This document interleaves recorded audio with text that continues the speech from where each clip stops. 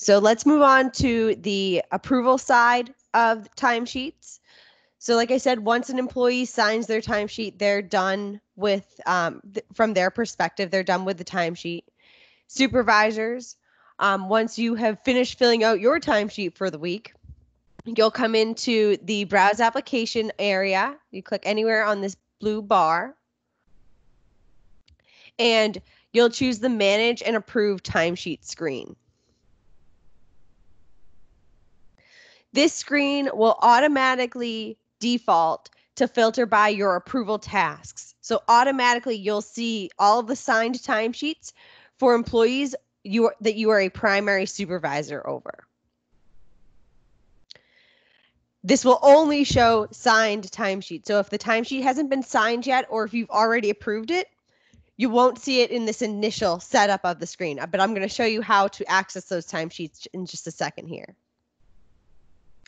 As a supervisor, I can view the timesheet in this table view, or I can switch it to form view. This form view looks a lot closer to what we were just looking at in the previous screen. You can access all the same subtasks, all the same um, information on the charge on the timesheet as you would on your own timesheet. So if I needed to add a new line to the timesheet, I can do that and I can click through the charge tree that is assigned to Alicia and uh, and add hours just like that. If I were to um, do that, I would also be required to submit a revision explanation um, as a supervisor when I enter her hours. I'm going to go ahead and just refresh our screen here, so save that. As you can see, this this sign timesheet is in the signed status. So after you're done reviewing the timesheet, you've looked at all of the hours. Um, if there are any notes, you've reviewed them.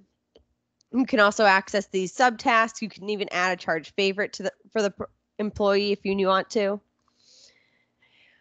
You can um, approve the timesheet just by clicking on the approve button. You'll get, oh, it's asking me to discard changes before I make before I sign or approve a timesheet. So I discarded my changes. Now I can click the approve button. You get the, almost the same pop-up as you did on that previous screen. It's just saying by approving the timesheet, you are certifying the hours. When you're satisfied, you click OK. And now that timesheet is no longer in my approval task view. If I needed to go back and access it later, or if um, I wanted to view a timesheet that is of a different status.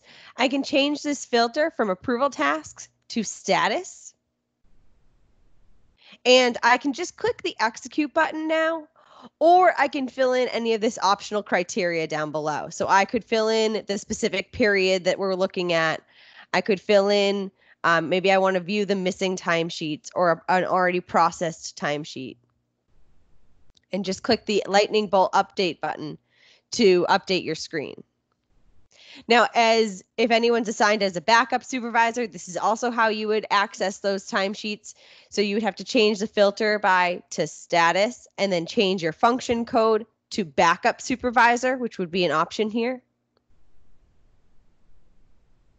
If you want to view um, missing timesheets, make sure to click off the include missing status checkbox and then you'll use the missing timesheet subtask to view the list of missing timesheets. So this is what I was referring to earlier when you ha- if you when you're first going live and you're trying to identify users that may be having trouble logging into CostPoint, you can come and look at this missing um, timesheet sub. you can fill in. You know, we'll fill in the first period that you'll be going live in time in CostPoint with would be the 515 timesheet. And let's just click our execute lightning bolt. And then click on the missing timesheet and you can see these are the users that I am a primary supervisor of that are missing timesheets for that period.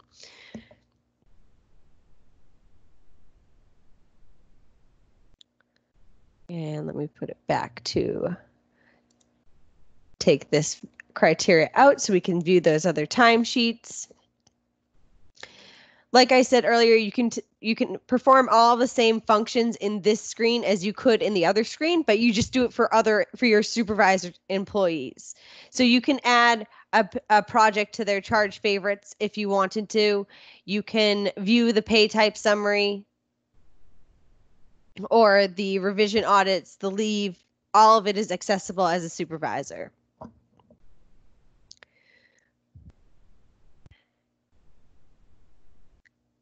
Does anyone have any questions about the approval screen or how to approve timesheets? Uh, there's actually a couple questions, Casey, um, Oh, yeah. and I have to hop off. One, can I you that, approve yeah. multiple timesheets at once with the current configuration that feature is disabled? And the reason for that is we encourage supervisors to review all timesheets individually, not just highlight everybody and approve them. So by f- cl- approving them one by one, it, at least it pulls up the hours for you to give it a quick review instead of approving them all at once. If that needs to change, we can definitely look into changing that. Um, so hopefully that answers your question there, Todd.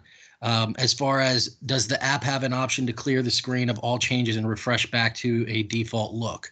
Um, so yes, the the refresh button in the top right hand corner, or excuse me, top left hand corner, that button there gives you the option to refresh anything back to the last saved uh, timesheet.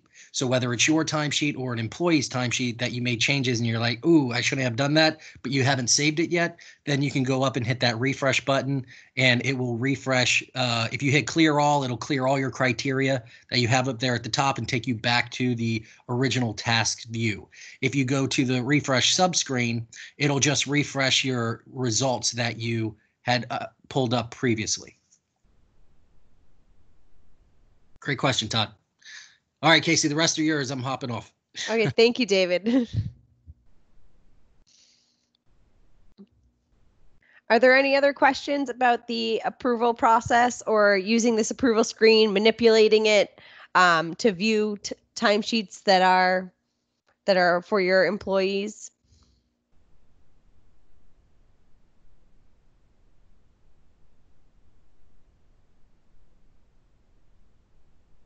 Okay. So I don't see any more questions coming through. Um, but let's jump into the last piece, which is just the um, leave requests and how to approve leave requests as well. So we're going to navigate back out of browse applications. And we're not going to leave the timesheet area. We just need to go up to this manage work schedule screen. And this is where we will request leave as an employee. So it'll automatically default to the current month. To update that, you change the month slash year field. You can use a little calendar to, to choose, or you can type in a day and then hit the lightning bolt execute button to update your view. Holidays will appear in yellow, and these colors will actually also appear on your timesheets. So you'll know what days that you've requested leave or or there's pending leave, depending on the color of the timesheet. So in order to request the leave, you can highlight the week and select the edit date property subtask. And then use the arrows here to choose which day of the week you'd like to re- request PTO for. You can also click on the individual um, cell for that day and then open the subtask and you'll see the Thursday the 21st is the is the date that I have selected here. In order to request leave, you press the request leave button and type in the hours that you'd like to have that off. You can also type in a note to your supervisor for them to see when they go in to approve later on.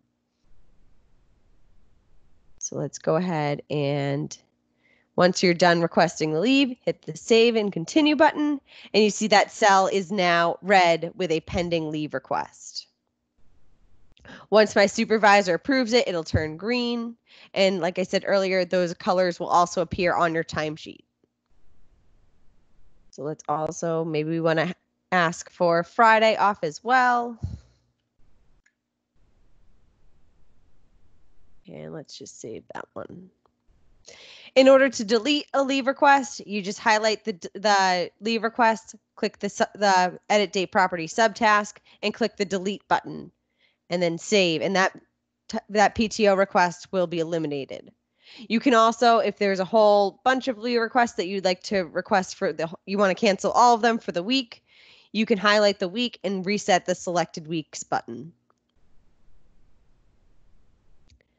In order to approve a leave request, let's see if we can save this. In order to approve a leave request, You'll navigate back out to the Browse Applications menu and click on the Manage Resource Work Schedule screen. Now, when you have an employee that requests leave, you'll get an email notification with a little bit of information. So you'll be able to choose the work schedule day that matches that leave request. So you can display the correct week right here and then hit the lightning bolt execute button to update your area down below. You can also narrow it down by employee ID or last name. If you had any pending leave requests, they would show right here in this pending leave request section with all of the information that we viewed on the previous screen. So the date, the hours, the notes, and then there's a drop down under the action column to approve or reject a leave request. You can also view all of your employees' um, leave requests and and schedules down here, so you can see. You know, this is especially helpful around the holidays when um, employees are requesting leave. They all want the same days off, and you can keep it organized. Who has requested leave? Who you've already approved leave for, um, and it all shows up in a nice a nice view right here.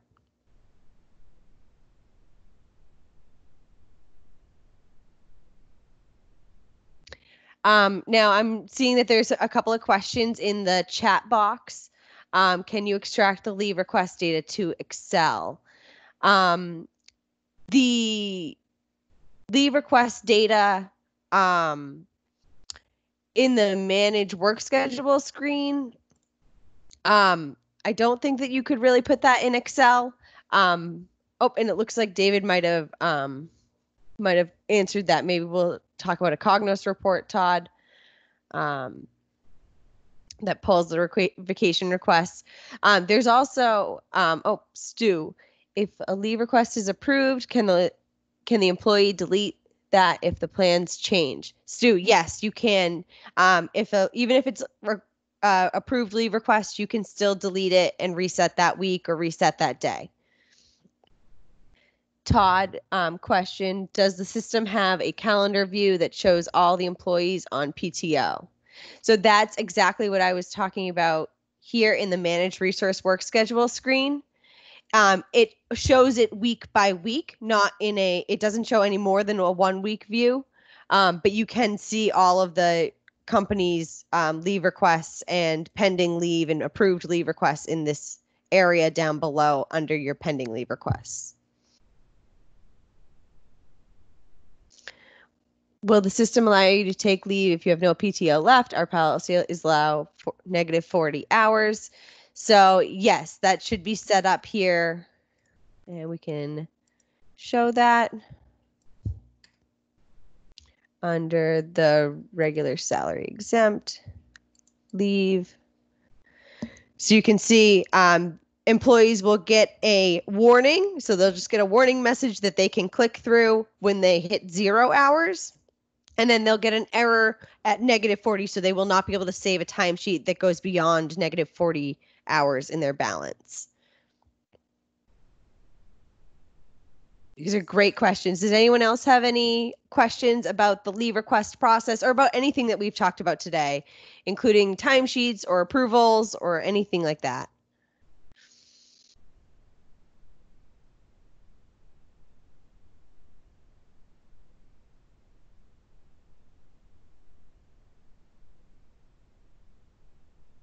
Okay. I don't see any other questions coming through.